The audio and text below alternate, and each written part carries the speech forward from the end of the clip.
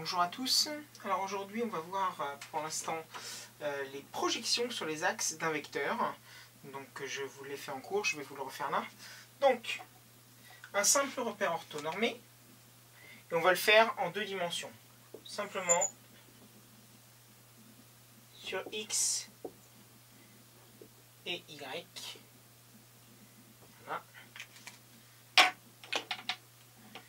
Un vecteur partant de l'origine.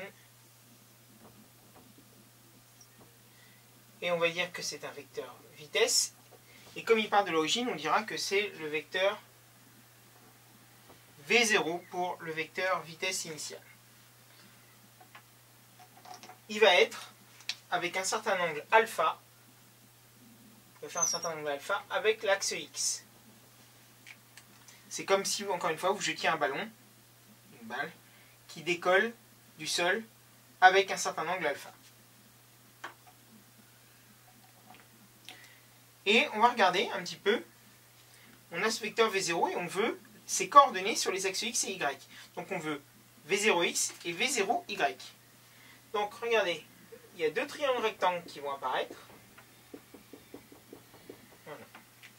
Donc les angles alternes internes en mathématiques vous disent que si vous avez alpha ici, vous avez forcément alpha ici aussi. Voilà. Et on va voir ce que ça donne. Donc, nous, on veut V0x. V0x, c'est cette distance-là.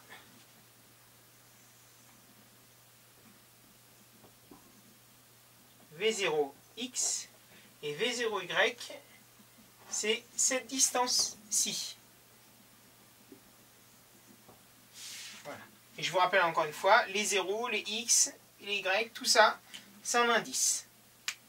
Voilà. Donc, qu'est-ce qu'on peut remarquer ici, déjà? Pour l'axe x, on peut remarquer que, bah, on a le côté adjacent, on a l'hypoténuse. Bah, on peut déjà dire que cosinus alpha, bah, c'est forcément V0x sur V0. Donc, on veut V0x. Donc, V0x est forcément égal à V0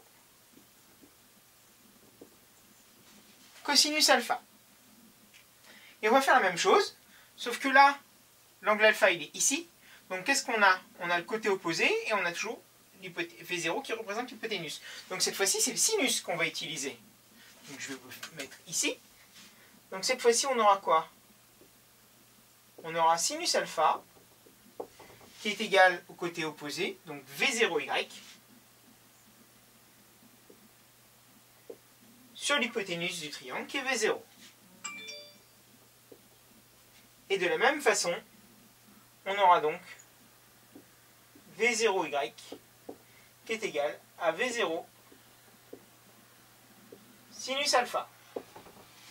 Et attention, parce que parfois il peut y avoir des pièges. Là c'est l'angle alpha, qui est ici, mais il peut être ici l'angle alpha. Et dans ce cas-là, ce sera inversé.